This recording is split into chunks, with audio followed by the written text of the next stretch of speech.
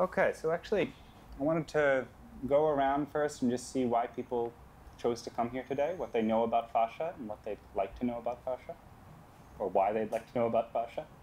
Hmm. You can go right. first, and say your name too, and I'll forget it. I promise. Yes. And um, I know that fascia is kind of beneath your epidermis, maybe. I'm not using it quite right, but it's underlying your skin, but it's above your musculature, maybe. Anyhow, it's like a network, Mhm. and um, kind of holds everything together, I think. But it weakens as you age. And that's why I'm here. Okay. Uh, what do I know about fascia? I'm here because um, I find the whole subject of um, structural integration interesting. I didn't know about fascia until maybe a year ago. And um, I know that it can get stuck and um, that sometimes it needs to be realigned. And I'm, I'm just interested in the subject. And my name is Gail. Hi, My name is Gail too. I, I know nothing technically about it. I, I'm here because of structural integration, I think is an important, it's important skills to know about to mm-hmm. keep healthy. And what do you know about it at this point? Not much. Okay. Other than skin is large. I don't know if it's technically part of the skin or whether it's a separate It's entity. technically separate. So it's large too. And my name's Marie, and I'm interested specifically because I'm having trouble with my left shoulder and hand right these Mhm. days.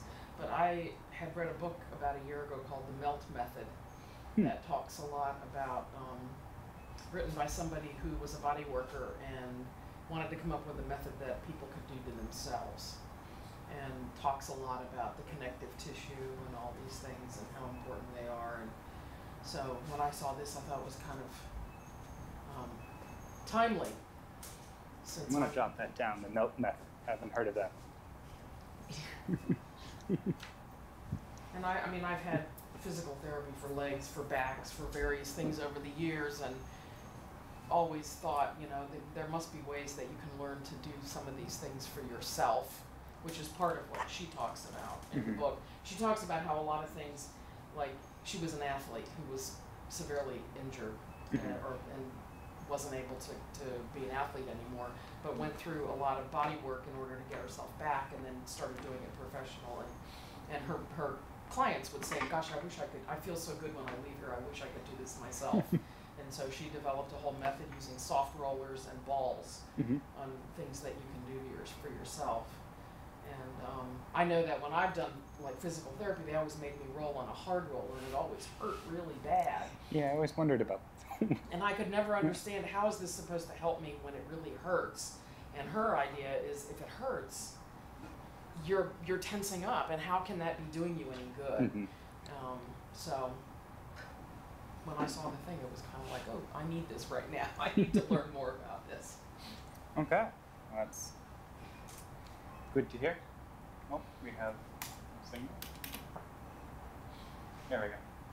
That's, I didn't mean to go there. Okay. So, fascia is the organ of form. This, um, if you think of the, I like to break it down into three, the body into three holistic systems or holistic networks. And I think of holistic networks as um, if you were to have everything else but that network disappear, you would have a very good three dimensional understanding of the body. If you just took bone, you got a skeleton, you have a, a general idea of how things look, but you don't have a, a full three dimensional view of the body. If you just took the skin, um, you'd have this really detailed, great superficial view of the body, but you'd cut it open you'd see nothing inside. Um, if you take the nervous system, where everywhere where the nerves go, you would see just about the entirety of the body um, represented, except for the inside of the heart, because there are no nerves directly in those empty spaces. Um, if you took the circulatory system, you'd have a very similar um, look, you wouldn't have the skin in that case because the circulatory system technically, if you just look at veins and arteries and such, technically stop right below the skin. Now, if you take a system I'm going to refer to as the fibrous net, which would include fascia, tendons, ligaments, and arguably bone. Um, then you would have the, a third view of the body. Um, do any of you here are familiar with um, Vata, Pitta, Kapha, or endomorph, ectomorph, and mesomorph? No, I've heard about that. Yeah. Okay. Yeah. So endomorphic, mesomorphic, and ectomorphic um, are, would arguably correspond to these three t- networks. So an ectomorph is someone who's very cerebral. Um, that's nervous system. You've got that nervous energy. Circulatory system is the endomorph, very in their gut. Um, and the fibrous network is the mesomorph, the very muscle-bound, active, engaged in the world person. So, so they correspond embryologically as well. I won't get too much into that right now. Um, I want to explain what I mean by fascia and and where what I'm saying will be inaccurate if you were to look at it broader. Um, the connective tissue, a, a broader term, is any cell that lives in a matrix that it creates. So the blood helps the blood cells help create the blood that's surrounding it. So blood is technically a type of connective tissue. Um, the bone creates the bone cells that it's in, the, the matrix in which it's in. So that's a type of connective tissue. The um, tendons and ligaments um, through fibroblasts create collagen fiber, which is the network part of the network that's surrounding it, and so does fascia. Now, the difference between tendon, ligament, and fascia is solely the amount of liquid and the orientation of the fibers. They're really the same material, and it's a man-made division. So you get some. So you can get these tissues that scientists will argue over whether or not it's tendon or ligament, or fascia or an aponeurosis, which is a big sheet of fascia found on the top of your head, or the diamond of your low back, or the plantar fascia of your feet is technically the plantar aponeurosis, which seems like it should be called plantar plantar um, but that's. but in any case, when I use the word fascia, it tends to include tendons and ligaments in it, um, and aponeuroses. So when I describe fascia from here on out, it won't technically just be the fascia. It'll be the other types of materials that can be secreted from the same type of cell. Um, so those are the three holistic networks. Next question is, how is your body like an orange? Um, I tend not to. I could bring in a, a chicken leg, but some people might get upset by looking at actual fascia, and it would be dead anyway, so it would have its own limitations. So if everyone can grab a citrus fruit that they like, there's oranges, clementines, and grapefruit. You good with your clementine? Okay. So if you peel the orange really messily, like I just did, um, and you look directly under the skin, you see this white fibrous material. This is we're going to use as an analogy of the fascia. Um, so it's directly under the skin, which is the part of the fascia that you were describing, which coats the entire inside of the skin. And then you have this little sticky outy bit, which is similar to a septa, that comes down and is also continuous with it. Now, as you peel your orange, you'll see white surrounding each wedge. I did not pick a good orange for an example of this. I'm hoping your guys are better. Grapefruits are probably pretty good for this. so you'll see the white film is continuous with the orange wedges underneath it. And if you were to peel apart the, the orange itself, I'm going to point to this as an example here. It's continuous with every break is, is separated with this material. And if you get an individual wedge and you look at the wedge, you'll see that every um, fiber, every grouping of cells within the orange is also separated by a white material. And oh, those are good oranges. Um, um, so fascia wraps all of the organs. it wraps sort of the outside of right underneath the skin, so it's kind of like a leotard or unitard for the body. You can help yourself to a citrus fruit here. Get you a napkin because they're a bit messy. Thank you, sorry, No problem. It's just I'm describing how fascia is like the white stuff inside an orange. so, and then bundles of muscle fibers are wrapped in fascia. Whole mu- individual muscles are wrapped in fascia. Muscle groups are wrapped in fascia. All the organs in your body are wrapped in fascia. It's the organ of space, fascia. So it's really holding everything together. It's this big network. So this is a, some other images. This is a how the fascia is connecting in with um, a ligament. So it's continu- as we were saying, the ligament is, for my case description here, is a type of fascia. But all of this is this is, the, this is the skin above it sort of being peeled away, and you can see how we have this whole network, and it's all very fractal, all very geometric, but, but sort of randomly aligned. Um, and then, th- then the other image shows you um, a still image of what I'll show you in a moment, which is there is a plastic surgeon who took a scope underneath the skin. And this is the only footage um, out there that shows fascia in a live body. If you look at it in, a, in an inert substance, it's, it, the, it lacks a certain quality. That on the right was real fascia, Yes, and human fascia. Yes, and I believe in the arm. I believe it was a plastic surgeon that dealt with carpal tunnel stuff.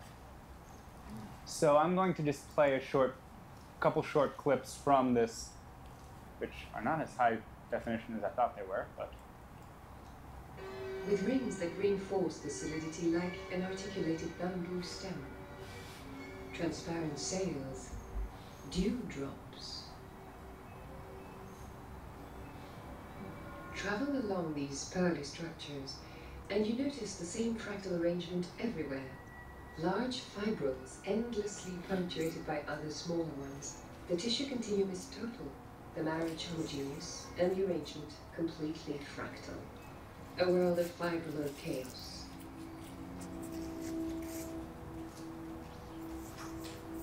The human body would seem to be one and the same tissue that has differentiated over time, but whose basic organization is stereotyped. Yet this organizational framework supporting life must have its inherent rules of behavior.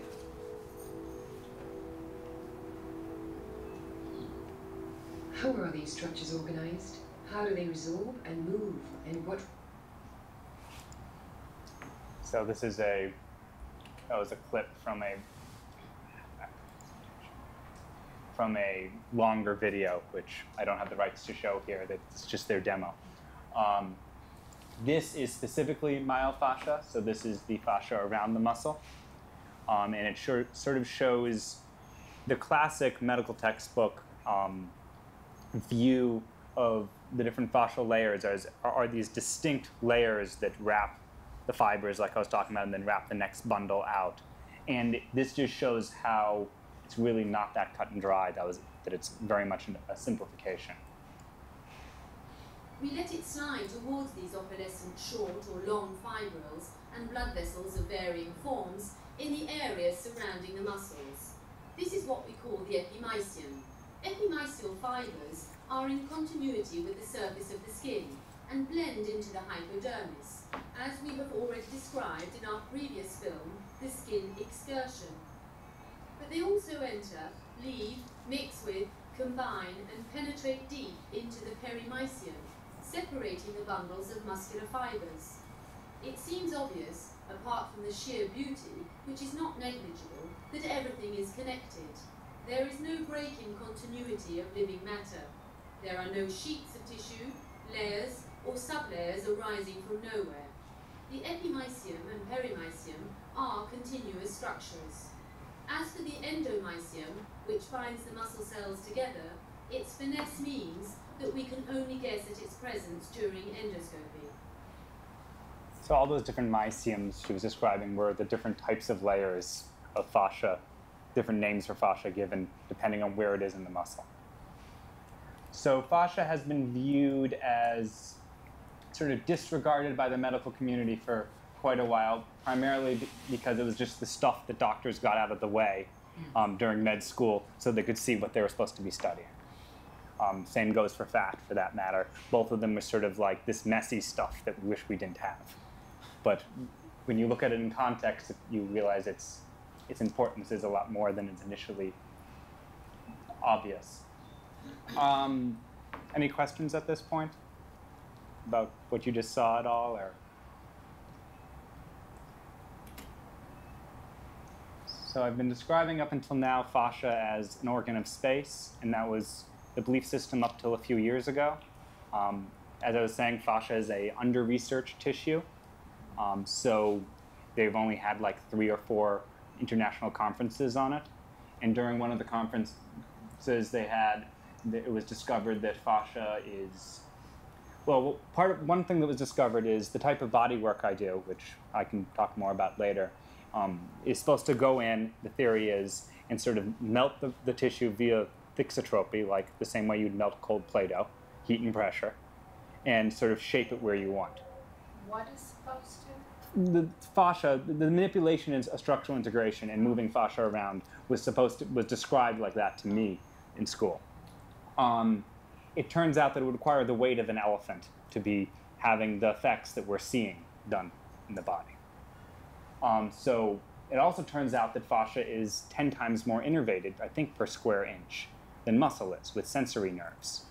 So most of our the feelings in our body that we think of as muscular um, is actually the fascia, the, the network around it.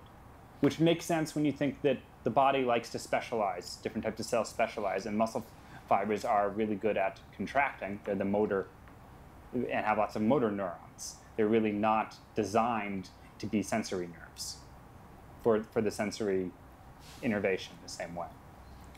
So, if so it's sort of a question up in the air in some of the fascial community right now is well what are these structural integrators doing if they're not doing what they originally thought they were which was with heat and pressure moving things around it seems it probably has something to do with this that there's some interface with the nervous system and that by contacting and stimulating the fascia you're actually encouraging it to move different ways so it's a lot more alive than the fascia that you just sort of pull out of the dead corpse. Um, there's some basic principles of fascia that um, deal with sort of how do you be physically fit while keeping these principles in mind. Um, there, I'm going to talk a little bit about these tensegrity models, which if you have one near you, you're welcome to play with or pass around. Um, I like to think of the body in terms of a tensegrity. You have tension structure holding it together. Tensegrity models are good for movement. Um, a building is stacked up, a stack of bricks. They don't move very well. They have to add steel struts to make so they can actually bend in the wind. So that's got some tension quality there. But if you're going to be actually getting up and walking around, you can't be just a compression structure. So I like this model, and this model means there's a couple of characteristics that it has. One is that if you have a compression anywhere in the structure, overall the structure is compressed on average. If you have an expansion anywhere in the structure, overall the structure expands. And any restriction does affect the rest of the structure. And if you were to be pushing on this and trying to break it, the area that would break would be the, would be the weakest link. It wouldn't be necessarily the part you're pushing on. It would be whatever, whatever one of these bands it has the weakest tension to it, and, and that's what would break. And often would be the band that might be overstretched by the process of whatever that pushing is. Um, so there is a bouncy quality to a structure like this. If you've ever seen a child or a toddler fall, they bounce. And they have a nice, healthy fascial network. Um, as you, they also don't have much dexterity or control over their environment. Um, they're, they're toddling everywhere. So as you learn to walk and as you learn different behaviors, you start to lay, your body starts to lay down um, collagen fiber in the area in the way that you're moving. So form is following function. If you, um, I'll step away from that and talk about another connective tissue, bone, for a moment. Every time you put pressure on your body, your bone, the force of it on your bone creates what's called a piezoelectrical charge. It's essentially static electricity.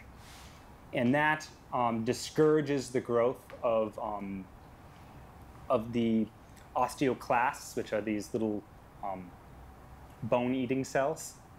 It discourages them from eating along that area of force. And then eats, it cleans up all the, the other potential heel spurs and bone spurs and such.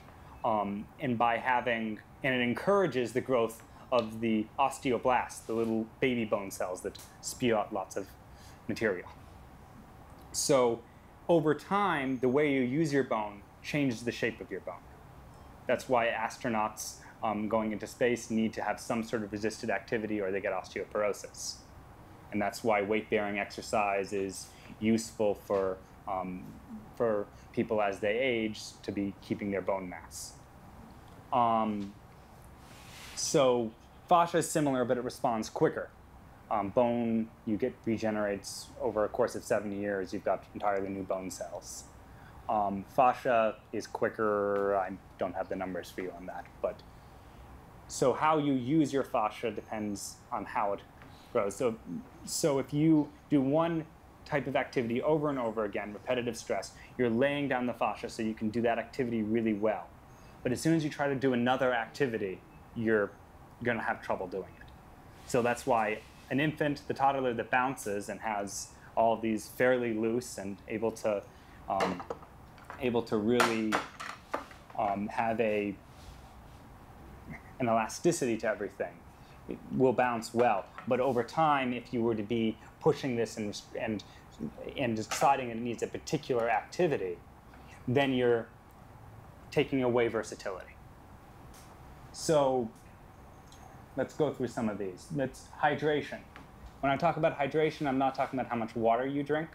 I'm talking about while you're doing physical activity, is that fluid getting to the fascia so it's not drying out? So when you first start a run or any sort of long um, physical activity, you might have that sort of a little joyful bounce to your step. And after about 10 minutes, something might start to cramp up or you might start to feel less joyful about the experience. Um, at that point, if you're trying to train healthy fascia, is a good time to stop running and walk. Now, it might be there might be arguments as to why for muscle growth you should keep running, or for cardiac health. I'm just going to talk about the benefits of fascial fitness. Um, so if you, so if you were to um, let walk for a little bit every 10 minutes or every 15 minutes, you would have a chance to actually get that area to hydrate. So you won't be getting that cramp. Things won't be sort of drying up in a particular area. The ninja principle, um, I'm going to equate to this kangaroo here. The, um, there was a test done on kangaroos to figure out why they jump so high. And they determined that the, just the force of the muscle um, in their legs was not accounting for the height that they were getting the kangaroos. I've seen this. Lab, I've seen some images of this lab. It's pretty bizarre to see a kangaroo on a treadmill. but the the what it turns out is that their Achilles tendon, um, running I think under here, maybe it's here. I don't know. It's, I'm not familiar with kangaroo anatomy very well. Um, ha, is essentially a spring that's preloading, and so there's an elasticity that a kangaroo has to its Achilles tendon. Um, and fascia should have that nice elasticity to it in general. Um, if you, so you can train elasticity into your um, tendon if you go by the ninja principle, which is if you're going to do an exercise and, and jump into the air, see how quietly you can land.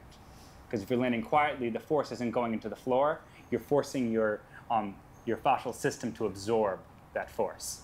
If you can, if you're to run, run up or down a flight of stairs. Um, do that as quietly as you can, running in place quietly. Anything that you can do where you're absorbing the, the force in your own body that's not going to hurt you. So all these, be careful with everything.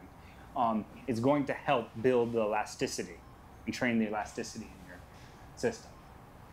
dynamic stretching is if you wake up in the morning and you do a nice big yawn and a stretch, um, you're stretching in different directions at the same time, your muscles are actively engaging. Um, it's a nice dynamic stretch. If you're simply reaching down to touch your toes and feeling a burn on the back of your legs, and um, it's not as dynamic of a stretch, you're actually not engaging the tissue as you're working with it. And when you do a stretch like this, you're not trying to see how far you can stretch. You're, it just kind of feels good. So any type of stretching you naturally see an animal do is actually usually pretty good for you. You're clearing up fascia that's sort of started to bind in different ways, and you're helping that. So the more sort of counter stretch you have, the more full body the stretch activity is without feeling too linear, the more likely it's a quality dynamic stretch. Pre-stressing movement is um, kind of like the kangaroo. You got to, if you do a nice bend to your knees before you jump into the air, you're pre-stressing it. Um, oh, jump rope, by the way, for the ninja principle. Quietly, trying to do jump rope quietly trains that elasticity quite well. Um, the pre-stressing, oh, sorry, the, yeah, pre-stressing is the baseball player pulling back before they release. You're getting a nice full movement. If you're going to lift something up, maybe lift something up, get underneath it ahead of time, maybe even exaggerate the knee bend and go down further before lifting up so you have a little bit of a pendulum effect. Any sort of pendulum swing will help the elasticity of the fascia, just swinging your arm or doing a full body. We'll see what this does to here, Mike. Any of those types of things, be it just so a lot of sort of the more pendulum dance-like activities are really can be really good for fascia. Um, having fun and being bouncy. If you're if you don't have if you're not fully engaged with what you're doing and enjoying it, chances are you're just you're you're more likely to be binding up your fascia and getting too fixated. Um, now rest is very important. Fascia, um, any activity like with muscle growth, any activity you do stimulates fascial growth. But also like with muscle growth, any activity you're doing is also degrading the fascia. So there's sort of a rest after any activity you do gives, it, gives your fascia a chance to catch up. So you have these professional athletes who are training every day. They're not giving their fascia any chance to grow. They're growing their muscle really big. And then what tears? Their tendons and their ligaments and their fascia. So rest is important. Um, this is a curve after after rigorous exercise, I couldn't figure out more than what they meant, what they meant by rigorous exercise, but um, after 24 hours, you have there, this is how much your fascia has degraded over that period of time. After 24 hours, your fascia has been degraded quite a bit after the vigorous exercise. You've also been stimulating the um, new collagen fiber to be laid down. So it's a longer slope. So in the first 32 hours, you're actually you've you've created a deficit to the actual collagen buildup in the fascia. Um, how strong your fascial system is. Past that point, you started to actually have some net fascial growth. Fascia change isn't takes a while. Can be if you were to be doing a lot of these types of exercises over the course of six months, you might start to really build up the fascia well. But it's it's one of those takes longer to to build a good fascial network, but it also takes longer to degrade a good fascial network. Um, so after 30, so it's good after a rigorous exercise if you're thinking about fascial growth to rest for at least 32 hours. After 32 hours, you've gotten back to the same point you were to begin with. And if you stress it again, you might not get to that nice synthesis. So it's good to wait a little bit longer than the 32. Rigorous I don't know if you guys can read this well here. Everyone read the cartoon? Yep. Okay.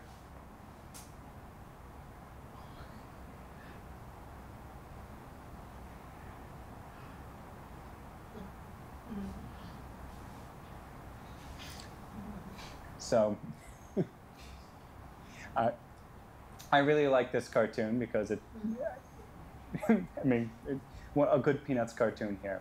So the, the, the, the depressed stance that Charlie Brown is expressing here, um, it's unclear which is cause and effect here. Did he have the depressed stance and become depressed, or did he feel depressed so he went into his depressed stance? For me, when I think of depression, I think of a literal depression in the chest. Um, the- physiologically, you're depressed. And that, the more you stand like this, the more the actual hormones in your system are likely to make you feel depressed. Um, so opening up the tissue and having more full springy fascia through your rib cage um, will make you less likely to be depressed.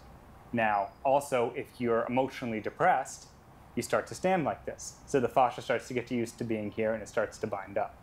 So I'm not getting into any cause and effect, whether, but in order to come out of depression, you need to, um, you need to be able to change the fascial structure in order to get out of it with ease, regardless of whether that's what put you into it to begin with. Um, that goes for many emotions, anxiety, and various feelings throughout the body. The way you feel affects the way you hold your body, and then the way you hold your body affects the way you feel.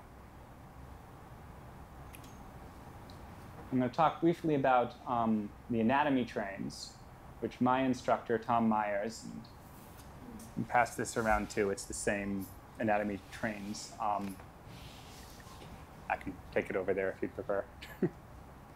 the, if you think of um, the early anatomists were butchers, literally. They, um, they're, they were thinking about, they were butchering animals and such, and they were thinking about the tenderness of meat. And they were removing all this fascia because that's grisly stuff that you don't really want to chew much on. That's, you, and they were thinking about where does muscle attach to bone. And they took everything except for muscle, where a muscle attached to bone, um, and pulled it away. So what you had left was um, was a very clean, classic anatomy. Um, this muscle attaches from here to here. And when you engage this muscle, the knee straightens and the hip bends. The reality is you have a lot of other tissue that's continuing past, that's surrounding that muscle, that's continuing past. So in this case, it's surrounding the knee and going down into the leg. Or let's talk about the superficial back line. You, you have the aponeuroses of the cranium, the skull here, coming, which is all fascia, comes down the back of your neck and starts to go into your back muscles here. And like links of sausage, the individual muscles are all kind of tied up in there, but the casing, the sausage, continues down into the next muscle. So I'm going to do an exercise here. Does anyone here have a tight hamstrings? okay, I'm going to have everyone stand up and go to touch their toes and tell me where you feel it, or as close to your toes as you can get.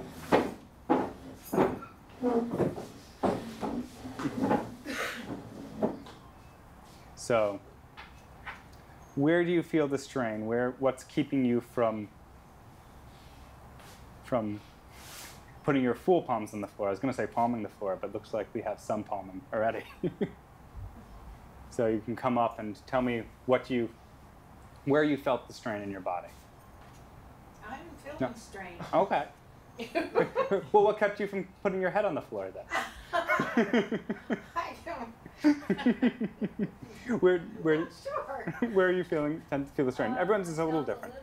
And- Okay, lower back for you. Mine was um, from my my calves. My Okay. knee halfway down my calves. Okay, where are you feeling? Okay, A little right in here. okay. So sort of that hamstring attachment through here. So all of these areas, for those of us who felt it. well, let me.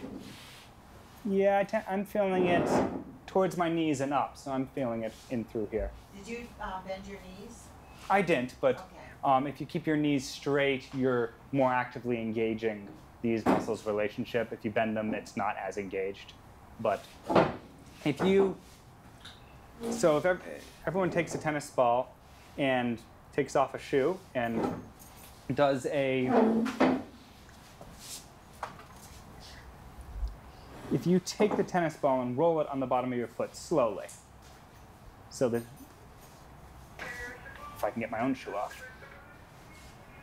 There we go. um, so just a slow roll, putting a little bit of pressure. And I like a tennis ball because it gives. And sort of a, a very firm pressure and slowly trying to loosen up the plantar fascia. And if you do that with just one foot for a little while, I'll have you get back up and see if you feel a difference between your left and your right leg. And this doesn't always work for people, but but sometimes you just by releasing one part of this um, anatomy train, you'll have some slack coming all the way up. Is, is this fascia here, is that tendon that's all swollen and has been for months and months? I'm not sure what it is. Hmm. Just on that foot? Just on that one, I don't know if it's Achilles tendonitis. Yeah, I mean it seems related to that to that tendon in that line. Hurts a lot. Hmm. Well, Yeah, it's, it's not a bone spur, I do know that. Hmm. Yeah. Yeah, I'm not sure on that. It's hard to for me to tell without getting my hands on it. Yeah. Time for the, the moment, but. Yeah. So now, now leaning down and probably putting your shoe back on so that you have an even level, but I've completely knotted my shoe. Um, and then standing up and touching your toes again, and just noticing if you feel a difference between left and right foot, or left and right leg. And there's times when no one in the room does, but there's times you have people really feeling a difference. Feeling a little bit, Gail? A little bit, yeah. What, where do you, what do you feel? In that same area, it didn't seem to pull so much. It wasn't, Yeah. it didn't sting as much. Okay, so that's just giving. Did you, you yeah, felt I, that? I can tell the difference. Yeah. So just by just by working anywhere within one of these anatomy trains, you're you're, you're giving slack to everything else. I had a um, a 90-year-old neighbor growing up, or growing up, I had this neighbor who's now in her 90s, and my mother called up and said she's experiencing real back pain, but we're not sure if there's um, fractured vertebrae or ribs or what's going on. Do you have any suggestions? My mother's a massage therapist and was asking me what what from a structural standpoint might be useful. I said, give her a tennis ball and have her roll it on the bottom of her foot. And she reported her back feeling better afterwards. Now, it could have just been because she felt like she could do something to make her to feel like she had some control over the situation. Um, but just by giving some slack in one part of this line, you're giving some slack all the way up. Um, there's a lot of different lines in the body. I'll just I'll just hold a few up instead of passing them. That's actually that's a more complex one. There's a line running up the side of the body. Um, these lines are more functional, so they're, they're not holding your posture as much, but they're lines of tissue. Now, a lot of these are overlapping. It's just different tracks that you could that you could take from that are linked together. And then you have the front line. And in the in Tom Myers' description of anatomy trains, he refers to this as a derailment. There's a mechanical connection between this line and this line, but there's no actual fascial connection. So just and then there's four different lines in each arm. So and there's infinite more connections and lines. These are just main ones that travel a long distance. And carpal tunnel. So now that you have a little bit of an understanding of fascia, we can have a better understanding of what carpal tunnel is. Everyone has a carpal tunnel. They have two of them, if they have two hands. Um, the carpal tunnel is made up of the bones, um, the palm bones that make a little bit of an arc right here. And then the fascial sheet, um, which here they're referring to as ligament. I've sometimes have seen referred to as palmar, palmar aponeurosis, but that just shows that they change their definition sometimes too. So this sheet of fascia that's holding together um, and making, making the roof of this tunnel. Now running through this tunnel is two tendons for these four fingers and one tendon for the thumb. And a large nerve and an artery that they're not showing. And they have these tendon sheaths for each one of those tendons to keep them from rubbing into each other. So you've got a lot of things packed into a very little space. So as you're doing some activity that's bringing your hands close together, typing at computers is a common one, using a mouse is a common one, um, or any sort of repetitive crochet work, or anything you're doing with your hands, you start to you can start to narrow that by just laying the body saying, "Oh, this is what you want us to do," and starts to lay down more and more material here and tighten it up. So often carpal tunnel is one of the most avo- avoidable surgeries, and this isn't just. i this is from talking to um, physical therapists who have who have just graduated um, school. So it's sort of the very. It's not from their own experience. It's sort of the textbook. Um, that, and it's my experience. It's very avoidable too. That ninety percent of surgeries, if people would just do the exercises that PT told them, um, they wouldn't need the surgery. So the work that I am going to be suggesting, I think, is potentially better than the exercises. I don't really know the PT exercises well. The PT exercises, I think, tend to be stretches for opening up the carpal tunnel, maybe holding back the wrist like this, and really thinking about different ways to get a stretch in the palm. Um, the work I'm going to have you do is if you place the back of your hand down on the table, and you can use a knuckle, or if that's sore, you can use your elbow, and just without move, with, without doing any real movement, just sink down into that space, and don't necessarily try to move anything. The center of your palm or? Yeah, or the base of your palm, so you're The aiming base. right for this. Mm-hmm. So right there. I've never actually had carpal tunnel, but in the last few years when I'm riding my bike, my hands start to get numb fingers. So which fingers? Oh gosh, know, I never even thought about it. because this nerve that's running through it, and this is sort of the often used in diagnosis of whether or not someone's got carpal tunnel or it's another type of nerve impingement. It's not it's not true all the time, so I'm not a doctor. I can't be saying this is the case, and it isn't always. But if you impinge this nerve that's in the um, that's in the carpal tunnel, it's feeding the thumb, these two fingers, and half of this finger. So often people go, "Oh, my whole hand is numb," but when when they stop to think about it, their pinky and this side of this finger are actually not feeling numb or pain. So that tends to be a sign of carpal tunnel. If you're feeling numbness in your pinky, it's more likely to be a restriction further up the arm, in the um, brachial plexus further up. It's still possible it's a restriction here if it's here. This is all connected. If you release this part of your arm, you might be able to release the tissue in your carpal tunnel.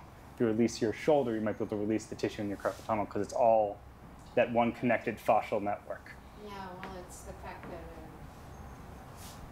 Your in that position, hmm I'm thinking, do I have to get a bike so I sit straight up now? Yeah, and that might that might be useful, and it might be just doing some rich, wrist stretches afterwards of different types. And I'm be happy to show you a few if you want later. I won't I won't necessarily um, get into those now, but if we have time, I can show you a few other wrist stretches.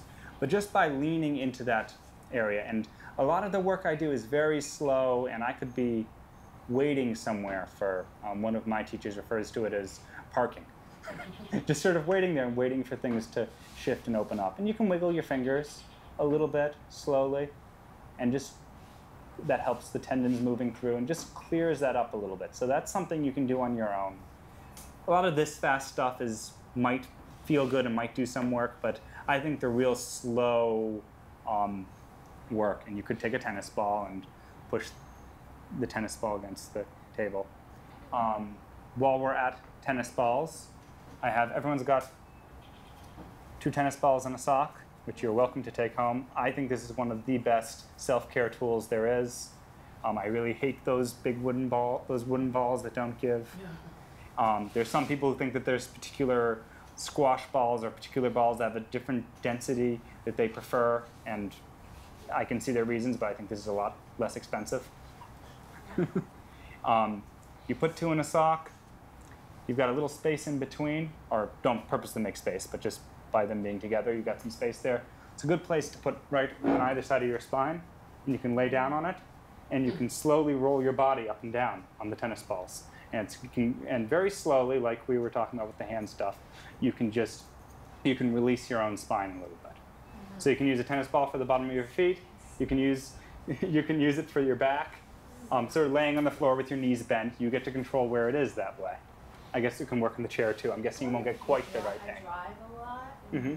work all, sometimes all day. hmm You could lean up against the wall. Yeah, you, Yeah. I feel like you have a little more control. I wouldn't lean on that because there's marker board that Oh, I don't want there's that they're very complex totals for the co-op, whatever is Oh. going on there. Yeah, that's, yeah. Um, but so it's a useful tool there. Don't fall asleep on it. I've heard Oh. one of my teachers once told me that if you go, oh, that's a really great spot, and fall asleep, I've heard that people were in more pain when they woke up. None of my clients have ever had that happen. Um, but yes, they give enough that I like it a lot more than those the two wooden balls next to each other that they. So if you're lying down, you just kind of roll your body over. Yeah, you can roll your body over. So that's why if you have your knees bent, you're sort of pushing with the bottom of your feet. You can roll your body over and have it be slow.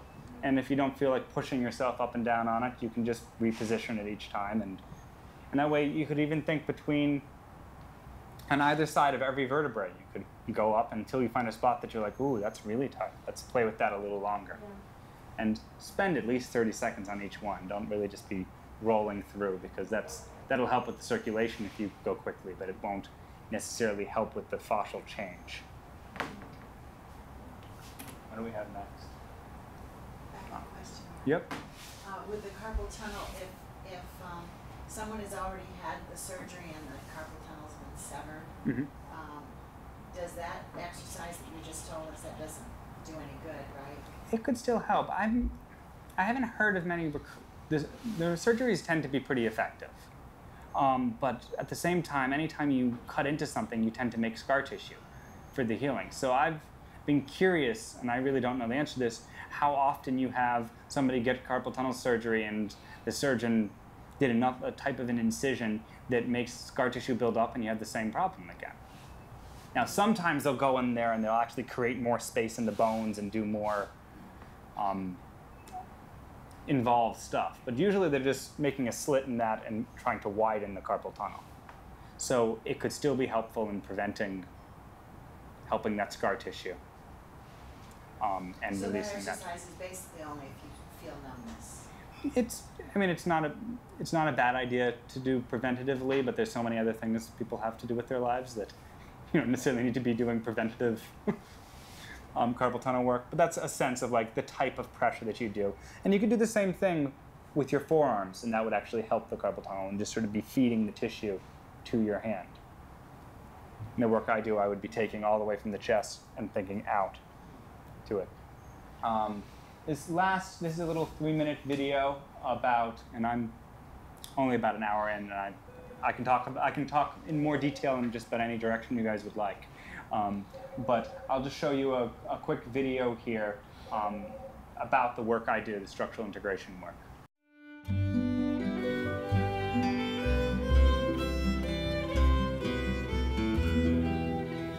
The work I do is called structural integration. For many people, they find it to help with the constant struggle against gravity. Um, we're always at computers, driving cars, or shoveling snow, and these things just really create a lot of strains on our posture. Over time, we start to slip into these postures um, more permanently, and it starts to feel painful and really difficult to come back into an upright posture and feel comfortable that way for more than a couple of minutes. Instead of focusing on muscles in the work I do, I really think about the fascia, which permeates the whole structure. Um, any restriction in one area pulls on the rest of the structure. And I, in each session, I want to just keep thinking about how to open up and relieve the tensions in the body. One of the most common complaints I hear is pain right between the, the shoulder blades and that upper back. And people often want me to work there. Um, and this isn't surprising considering that um, most of these people are bent over. The restriction isn't coming from the upper back. the culprit is actually the um, superficial front line, which runs from the top of the feet uh, across the thighs and up our abdomen. That is restricted, pulling our shoulders forward and causing an overstretching of the muscles that, um, that are just doing the best they can to hold us upright.